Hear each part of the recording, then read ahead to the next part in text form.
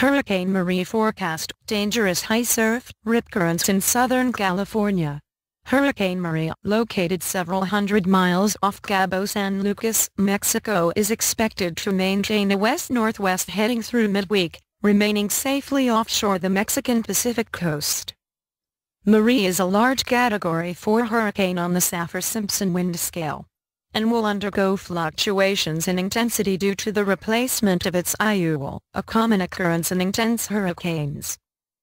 By midweek, Marie will have moved into a more stable, at ease, air is less prone to rise and support thunderstorms, and drier atmosphere and over cooler water, inducing steady weakening to a remnant low by the weekend.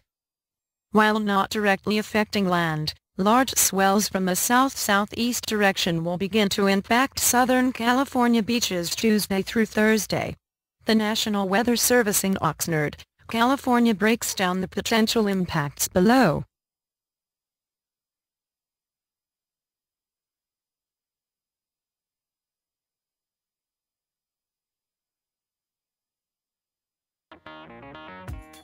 Thank you for watching. Please subscribe to us on YouTube, Facebook and Twitter. You can visit us on www.therealthingmeme.webs.com.